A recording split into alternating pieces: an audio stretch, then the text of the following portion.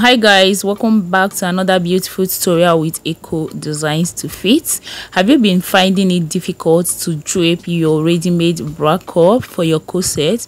In this particular video i'm going to be breaking it down for you. So for this very tutorial you're going to be needing your tailor's ham you're going to be needing your pins enough pins okay? You're going to be needing a marker scissors ready-made bra cup and then fabric okay?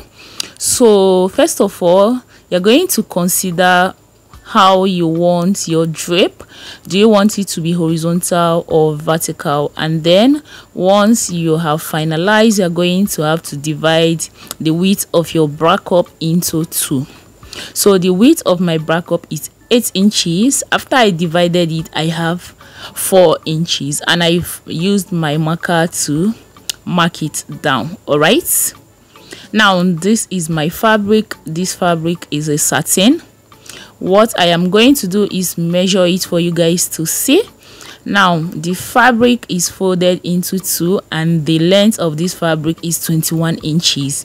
The width of the fabric is 10.5 inches. I'm going to go ahead and fold this fabric into two and then notch the center of the fabric. After notching the center of the fabric i'm going to bring in my bra cup and i'm going to make sure that the right side of my bra cup is facing the wrong side of my fabric.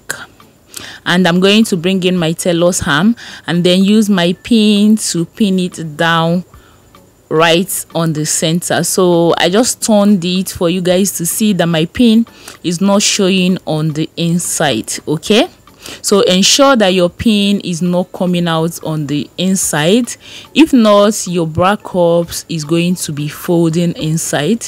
And once you are done you are going to have to start draping okay now for you to have your bra cup stay in place you're going to have to use one pin and hold your bra cup into the tailor's ham.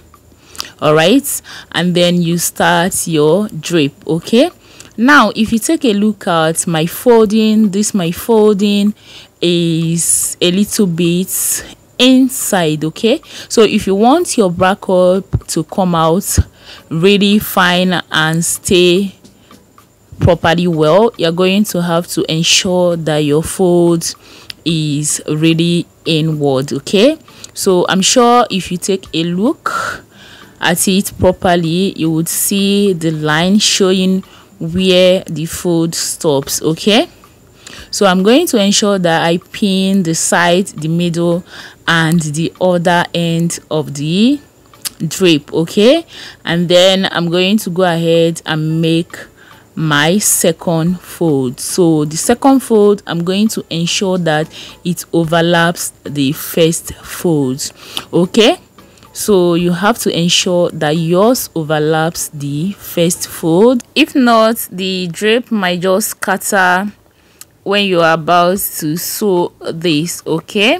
So ensure that your fold overlaps each other. So this is my third fold and i'm just going to go ahead and use my pins to hold it down. Now you guys i'm going to just stay cool and you guys take a look at what i am doing. But first of all i want you guys to know that you need to be patient to be able to get this your bra cup draped perfectly well okay? And also you really need to be patient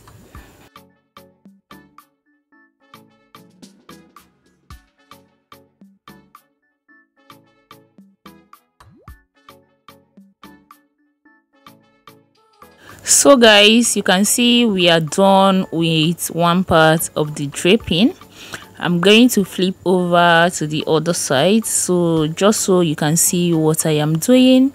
And my first fold is going to be inverted pleats okay so can you see i'm going to be making this an inverted pleat all right? So i'm going to go ahead and continue this draping can you see? And here is the second fold. I'm going to make sure that it overlaps the first fold of this particular part and then i continue pinning this down okay so uh, i will kindly stay cool and you watch what i am doing right there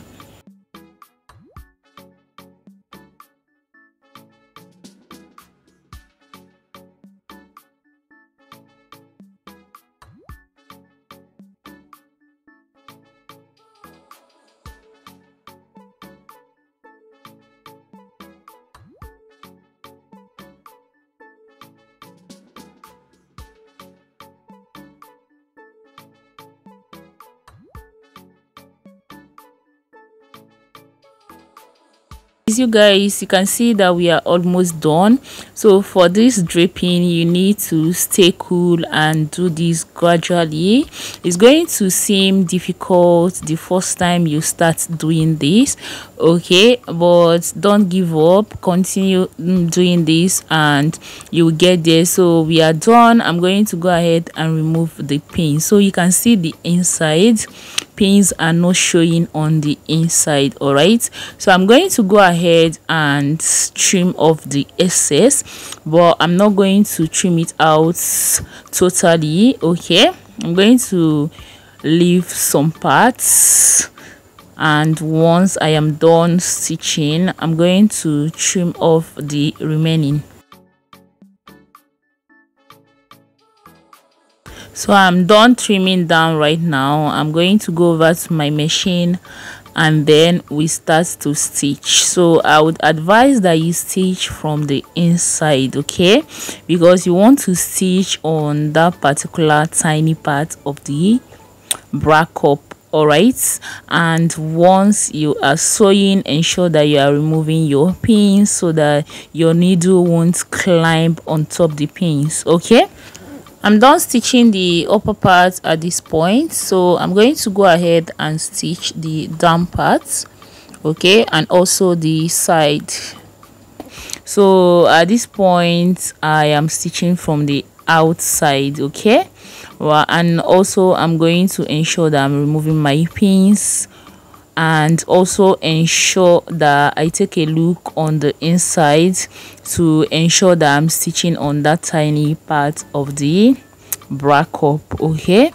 So once i am done with this i'm going to show you guys what we have here. So you can see that i stitched this without any mistake. So can you see that i stitched this just on tiny part of the bra cup okay so i'm going to go ahead and remove all the pins and then turn it over to the wrong side so that you guys can see what we have right there okay so this is what we have and this is the inside.